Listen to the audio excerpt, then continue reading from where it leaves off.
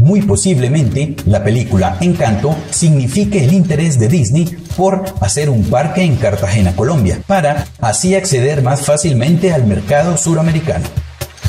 Quédense al final de este video para confirmarles la realización de este proyecto que, sin lugar a dudas, muchos niños y adultos agradeceremos, porque ir a estos parques es un sueño total aunque la verdad para nuestros bolsillos suramericanos sale algo costoso. Y tener un parque cerca de casa creo que lo haría más accesible para muchos de nosotros.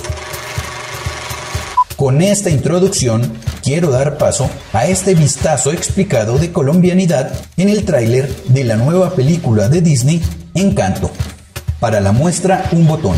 El primer tráiler utiliza como fondo musical la reconocida pieza Colombia Tierra Querida y deja entrever su paisaje como de zona cafetera.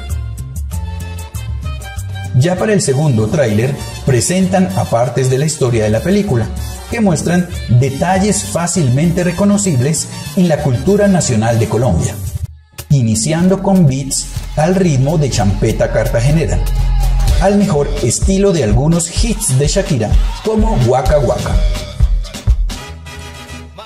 continúa con una fugaz y bella entrada de las recordadas mariposas amarillas del libro Cien años de soledad, escrito por el ganador del Premio Nobel de Literatura, Gabriel García Márquez.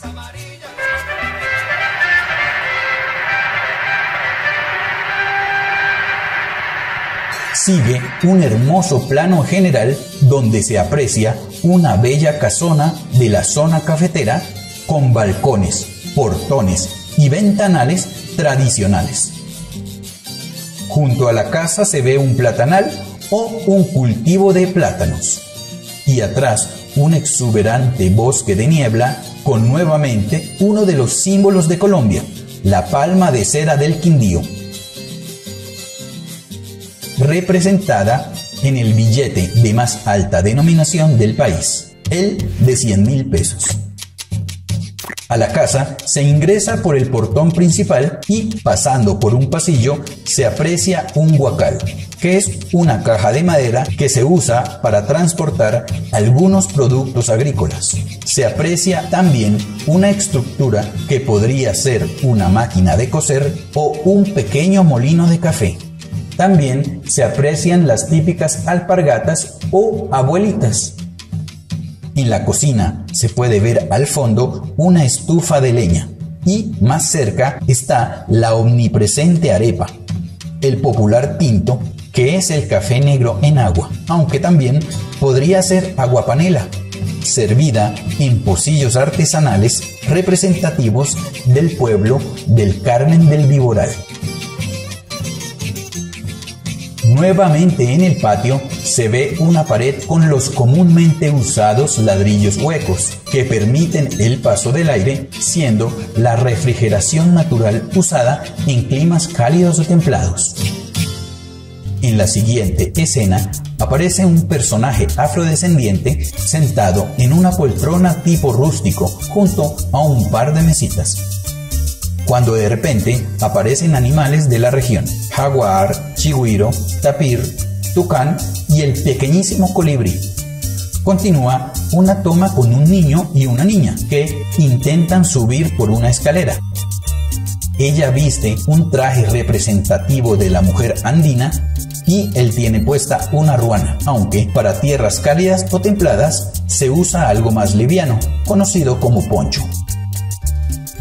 En esta, la siguiente toma, integrantes de la familia Madrigal llegan a la casa familiar y acá se puede apreciar el mundialmente reconocido sombrero volteado y otro no tan reconocido llamado sombrero aguadeño. La escena siguiente muestra a una hermosa chica bajando por una rama. Ella está vestida con una típica pollera que inspiró la muy reconocida pieza musical conocida como La Pollera Colorada. En esta escena a Mirabel le pasan un acordeón, que es el instrumento representativo de uno de los géneros más populares de Colombia, el vallenato. Todos se sorprenden y se puede apreciar una guayabera amarilla, que es una camisa fresca usada en las costas del país. Acá en esta escena le llevan a la protagonista Mirabel un canasto, que es un cesto de mimbre ampliamente usado antes de la invasión del plástico. Este canasto está lleno de regalos, como dulce de brevas, panelas, melcochas, un totumo y cositas para los niños, gorritos de fiesta, ringletes con los colores de la bandera de Colombia, amarillo, azul y rojo, y el juego de la coca que está presente en casi toda Sudamérica e incluso México. Mientras quien lleva el canasto se acerca caminando a Mirabel, se aprecian al fondo los tradicionales techos rojos de arcilla cocida. También se ve un burrito, que aunque es un animal que está en el mundo entero, en algunas zonas de Colombia goza de mucha popularidad, pues incluso tiene el colorido y autóctono Festival Nacional del Burro, realizado en San Antero, Córdoba. Y existe un reconocido cantante de música tropical bailable llamado Noel Pedro, el burro mocho. Cuando Mirabel recibe la canasta, se ve su vestimenta, la que es típica del pueblo de Vélez Santander y se caracteriza por sus vistosos bordados. Un homenaje que en esta película se hace también al pueblo colombiano muestra a varios personajes bailando indiscutiblemente refleja la diversidad cultural y musical de Colombia.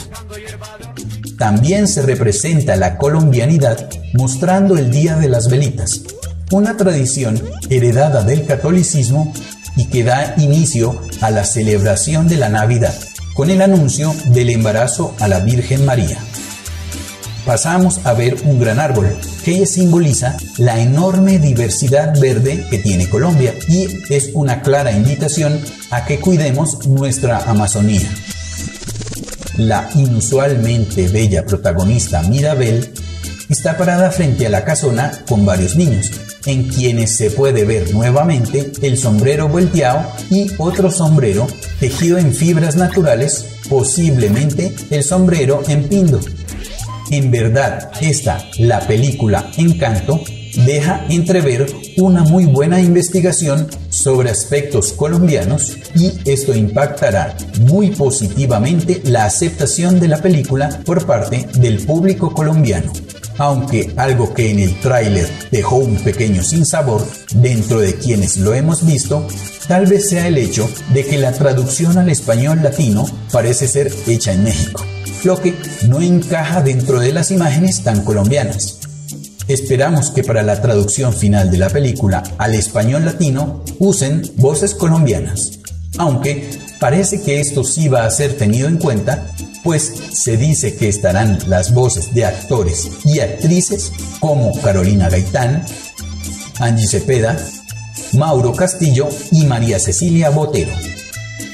Según María Cecilia Botero, las voces de estos colombianos estarán en la versión en inglés de la película. Esperemos que igualmente sean usadas también para la versión en español latino.